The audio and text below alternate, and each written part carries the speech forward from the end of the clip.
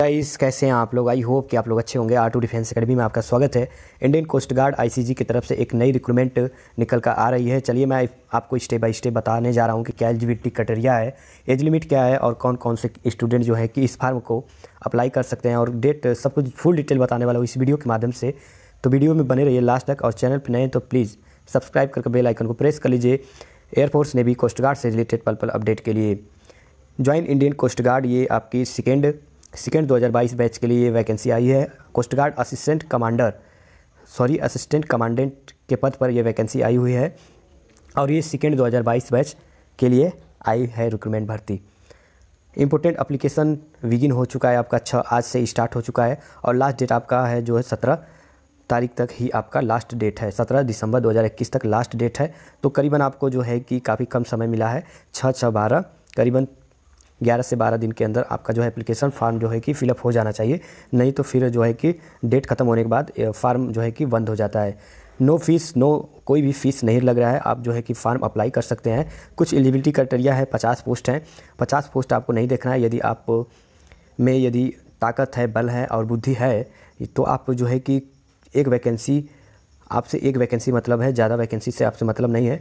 मेहनत करिए ताकि आप जो है कि इस पद को आप हासिल कर पाएँ। देखिए जनरल ड्यूटी के पद पर वैकेंसी है। जनरल ड्यूटी और commercial pilot C P L S S A के पद पर वैकेंसी और technical trade engineering and elect sorry और इलेक्ट्रीशियन से कुछ टेक्निकल इंजीनियरिंग एंड इलेक्ट्रीशियन से कुछ पद हैं।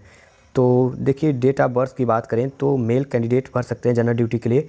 एक सात सॉरी एक सात उन्नीस सौ संतानवे से लेकर तीस छः दो हज़ार एक के बीच आप जो है कि एज लिमिट होना अनिवार्य है, तभी आप जनरल ड्यूटी के लिए भर सकते हैं पद के लिए।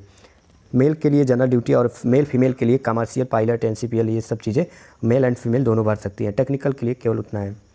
और भी कुछ चीज़ें हैं कि क्या है बैचलर डिग्री होना चाहिए आपका और minimum sixty percent marks all semester per years, ठीक है? आपका जो है पर ईयर आपका साठ परसेंट आपका होना तय, होना चाहिए पर सेमेस्टर में, ठीक है? तभी आप जो है कि B A first year second year and third year तीनों में आपका जो है कि साठ परसेंट आपका होना अनिवार्य है। तभी फार्म को जो है कि अप्लाई कर पाएँगे, नहीं तो अप्लाई नहीं कर पाएँगे। ये चीज़ें जो है कि विशेष एलिजिबिलिटी में बताया गया है।